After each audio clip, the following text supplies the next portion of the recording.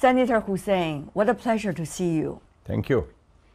You are already on your feet for 24 hours traveling all the way from Pakistan to China. Congratulations for an already successful trip. Well, thank you. It is, I have the excitement of uh, homecoming.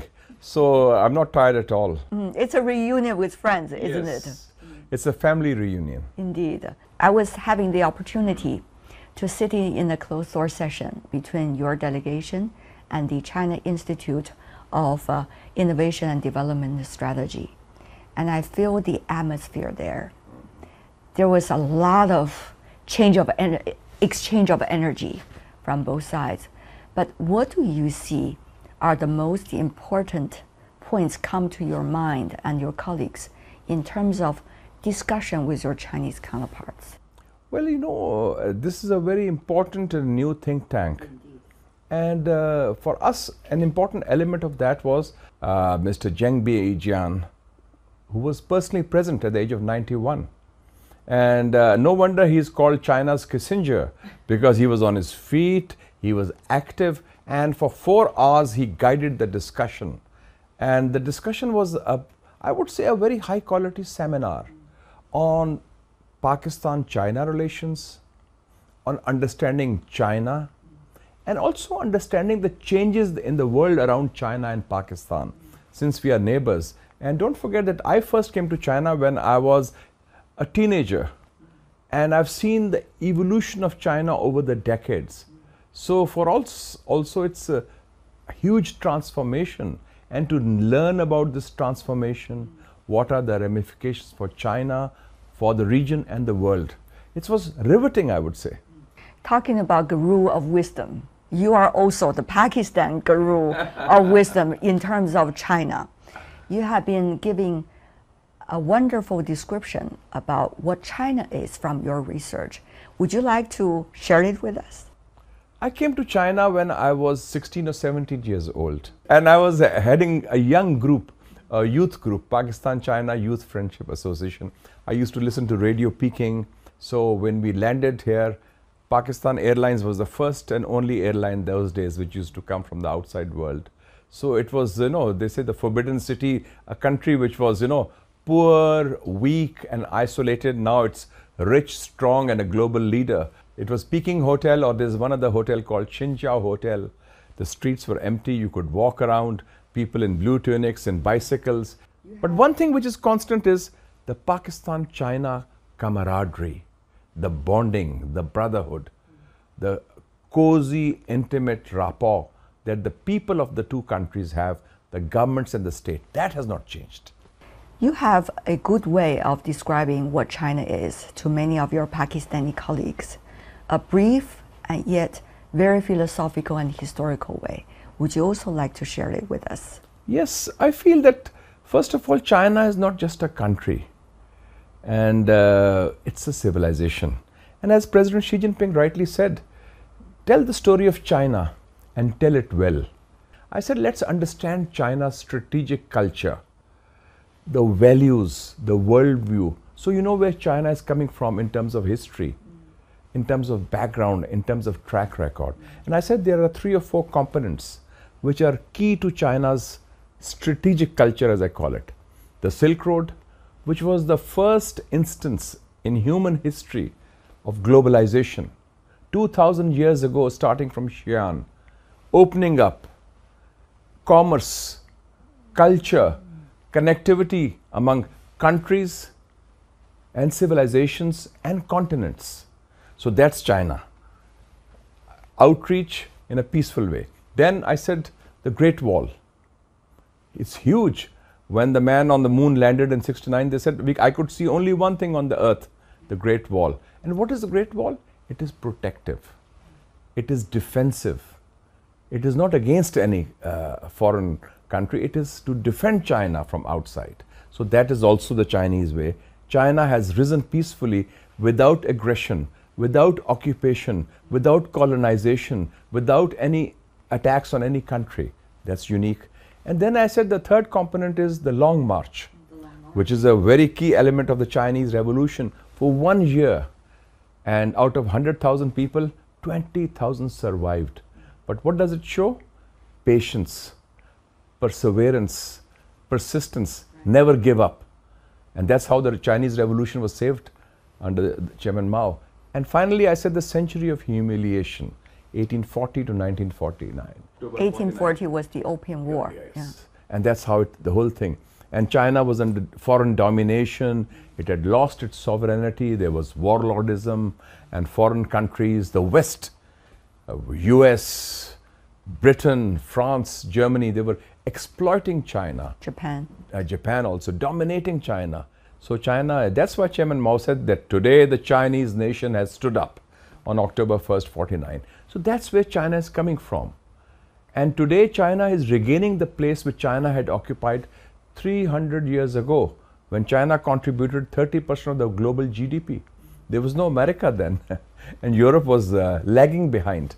So that's, uh, people don't understand that history. And that's why we see this historical shift in the global balance of economic and political power from the West to the East in the 21st, the Asian century. And we feel China's peaceful rise is a source of strength for Asian countries and developing countries. Now think about today. The Belt and Road is celebrating 10th anniversary, and Pakistan is an important component of the Belt and Road Initiative. And yet the efficiency of projects being developed uh, under the Belt and Road Initiative can be further improved. How do you see the possibility of that in the near future? Well, first of all, the BRI, Belt and Road Initiative, in my view, is probably the most important diplomatic and developmental initiative of the 21st century in terms of scope, in terms of scale, in terms of duration. And I remember I was at uh, in this very city of Beijing in uh, May 2019 at the second Belt and Road Forum. The theme was green development, and I heard President Xi Jinping say that. So, and the China Pakistan Economic Corridor has been the flagship of BRI, and it has been transformative.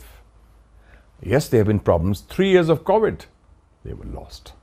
Difficulties. It was a pandemic. And then we have also in Pakistan, unfortunately, bureaucratic red tape. And sometimes there are security issues.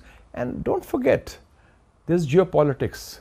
A lot of countries don't like the BRI in the West. And some countries want to sabotage or undermine or undercut this cooperation between China and other friendly countries in Asia. But of course, as Chairman Mao said, nothing is hard in this world if you dare to scale the heights. So we are scaling the heights of progress, poverty alleviation, climate change, and uh, moving forward in people centric development. Now you have brought all your colleagues from different political parties together, and they come here, they get a sense of what China is about from their own eyes, what they're really hearing. How much do you see further consensus can be built on both the efficiency, implementation, and the eventual results to benefit the people uh, that are covered by some of the projects related to BRI? You see, there's an English saying, seeing is believing. So now they're seeing with their own eyes. Not virtually. And not virtually, not reading, not through a documentary. On the spot, meeting people, seeing projects, seeing development, seeing progress. So now they say this uh, every system, every policy is judged by one factor results. Has that project delivered for the people? Have the people benefited? And when they see how China has benefited, the Chinese people have benefited, their living standards have changed, which I've seen personally. 800 million people lifted out of poverty and so forth. And also, the skies of Beijing are far more bluer and cleaner than before. So, you know, uh, uh, that uh, uh, uh climate uh, issues, pollution is far less so. That has changed. So, China is also playing a leadership role in climate change, in the environment and poverty alleviation. These are issues which matter to us also. Human development. Human development. And it's about human security, health and education. And the way China succeeded in combating the pandemic, it's a quite a, a, big success story. I remember Mr. Zheng Bijian uh, during the closed door session. He said something about the history. And how it will be today's component eventually related to the history. He said the yet the best is yet to come. Yes. That is a very philosophical, shall I say, uh, a phrase that he used. But from your perspective, what is exactly the nature of change today? How do you see which stage are we in? What is the best way for Pakistan to be sophisticated, both observing and strategically participating and shaping to the mutual interest and certainly to your best interest? So let's look at the big picture. Yeah, the bigger picture. Yes. What did President Xi Jinping say recently? We are witnessing once in a century changes. Changes that have not occurred for over 100 years are suddenly taking place. The global balance of economic and political power is shifting. You see the decline of the West. You see the rise of a multipolar world which has to work in a multilateral framework. Issues like coronavirus, climate change, they are there. The failure of military might after 9 11. So that has given strategic space to countries like China and Pakistan. It's all about uh, connectivity, it's all about cooperation, it's all about consultation. It's not about conflict or containment or confrontation or a cold war, which some want. And we are the hub of regional connectivity, Pakistan, because of the China Pakistan Economic Corridor. Central Asia, South Asia, Gulf, Iran, Afghanistan, and China together. So that's a new world opening up. Ports, pipelines, roads, railways, energy, economy, education. You name it, all these are there on the agenda. That's the future. And that's the big picture. So we are on the right side of history, moving towards a better tomorrow for Asia without overlords and without any underdogs.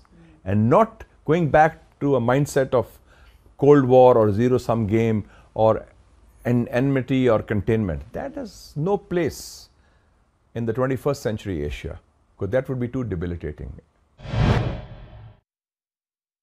We have seen, uh, you know, many of the projects built between China and Pakistan have been realized over the years, whether it's about roads or it's about uh, uh, international trade center or many others. Uh, how do you see the locals have come to understand the nature of this cooperation?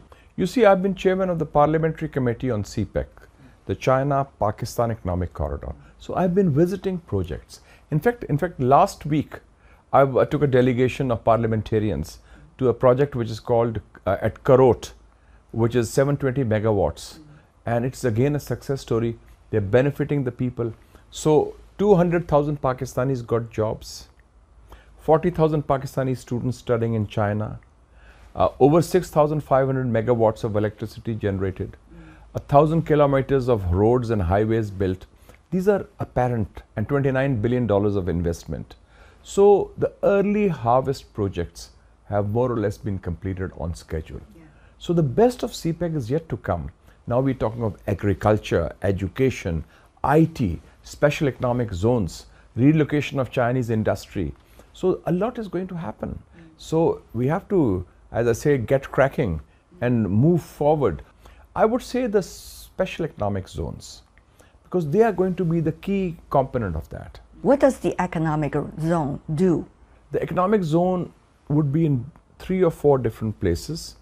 Say, one would be specializing in a particular element, say high tech technology. Some would be in uh, consumer goods, for example. Something else on mineral development. So there are different components, and some maybe on uh, food security and agriculture. So all these zones have to have an area of specialization, and that's how we have to take this forward. So that's uh, so I would I always say the best of CPEC is yet to come. Uh, it's just the beginning. Pakistan is a very young country in terms of demography because 66% of Pakistanis are under the age of 35. And it's also, we have a large middle class, over 100 million people. English language is very important. So, access to computers, internet, IT, and uh, young women, young men playing that role is, uh, I think, uh, a very key element. And I feel that our best resource is our human resource. talented youth, boys and girls, and very creative, and who can get things done. So they need to have the opportunity to demonstrate their talent. And that opportunity is providing by CPEC because China has already at par or excelled with the United States in high tech anyway. Having said that, though, what about this China Pakistan relationship? Of course, we say it's ironclad, uh, just to describe how uh, resilient, strong, and enduring it is. But having said that, though, what does that say, particularly today when you have a population of 35 years and even younger, 60% of them? Some of them may not necessarily know the you know, earlier stories of uh, friendship between China and Pakistan. How are you trying to bring the literacy of China and China-Pakistan relations update to them? The relationship is being refreshed, revitalized, rejuvenated. How? How? CPEC, for example. It's only 10 years old. Then issues which matter. China's core interests. We talk of China's peaceful rise, sovereignty issues. Pakistan is standing firm like the Karakoram Mountains. And when it comes to Pakistan's sovereignty, unity, territorial integrity, and dignity, China is there like a rock with us. So, mutuality of interests. We are opposed to hegemonism. We support non interference. And we reinforce each other's core interests. And that is the key. And plus, that is supplemented by a very strong and resilient grassroots bond between the two peoples, which our delegation, the parliamentary delegation I'm leading today, mm-hmm. is reinforcing. Having said that, though, how do you look at the regional cooperation that is taking place dynamically now in Asia? Uh, you have very different uh, mechanisms. For example, Shanghai Cooperation Organization, in which um, Pakistan also plays an important part. How do you see all these regional groupings, mechanisms, how will that contribute to the diversity of streams of thoughts and also clues for future relations between China and Pakistan and beyond, of course? You see, a very important development is taking place in our region. Asian hands are shaping the destiny of Asia. Let me give you an example the rapprochement between Iran and Saudi Arabia. For 30, 40 years, there was this unbridgeable gap, a conflict, a yawning chasm between Iran and Saudi Arabia. And China played the role of an honest broker. And now you can see rapprochement between Syria and the uh, other countries, mm-hmm. China playing a role in that. Then this uh, summit uh, between Central Asia and China. Then CPEC, then these pipelines, then Central Asia cooperation via the hub of regional connectivity. In all of these developments, where is the West? It's all regional countries taking the initiative. That's a very positive sign. And that shows that Asian countries are taking the initiative. Not just Iran or Saudi Arabia, Pakistan, Turkey, other countries.